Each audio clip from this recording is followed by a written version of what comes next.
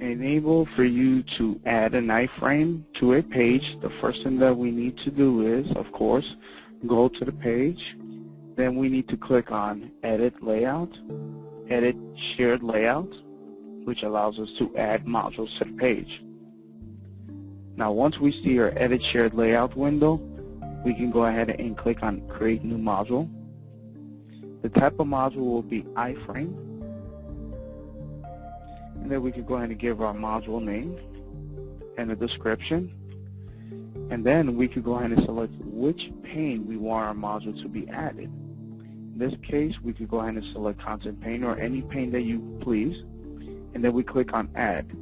Once your iframe has been added, we also got to verify our permissions by clicking on module settings.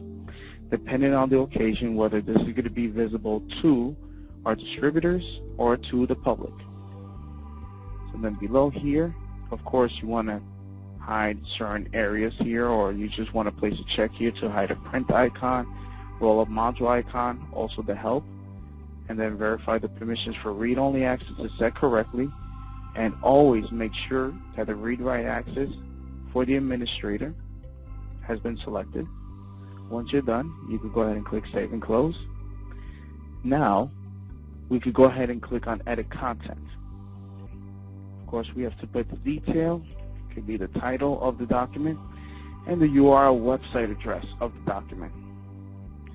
So in this case, what this means that we need to enter the URL address of our site. So that way the document can be pulled into the server and be viewable. Now, in a separate tab, what you can do is go to any HTML editor module, click Edit Content, when you get to this point, you want to click on your Document Manager, upload the PDF file that you want to upload, and then click Upload. Okay? And then your new document is going to be here, so you can go ahead and click Insert. Now, what we need to do is click right on top of the document link, and we need to grab the URL of the file where it's located. Then we go back to our iframe page, and then we need to type in the whole URL of your website. Now, as soon as we enter .com, then we can go ahead and paste the file path where the document is placed and we enter a height number and make sure that we do not touch, allow the frame to have scroll bars and set border around frame. We can leave these options as it is and then we click Save and Close. Okay, so now we're going to have our tools as we are viewing a PDF file online.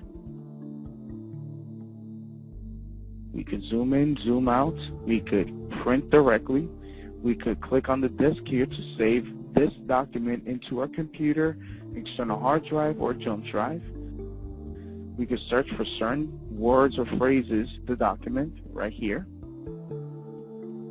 We could actually change the view of the document depending on how many pages you have. But this is how you are able to create a iframe using a PDF file.